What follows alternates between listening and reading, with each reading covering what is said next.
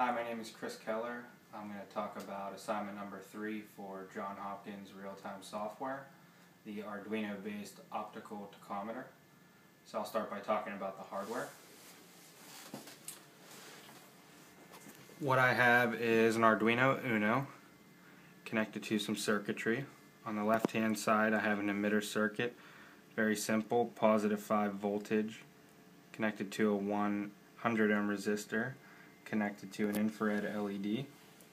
Then on the right side I have a photodiode circuit, just a simple photodiode connected to a 1 mega ohm resistor and I'm taking the output of the photodiode and going to GPIO pin 2 of the Arduino Uno. In between the two circuits I have a 6000 RPM CPU cooling fan it needs 12 volts of power, so it's getting that from the V-in pin of the Arduino, which gets its power from a 12 volt AC-DC wall adapter. The idea is that every time a fan blade passes, it will uh, break the light signal in between the emitter and the photodiode, and I'll get an interrupt to the Arduino.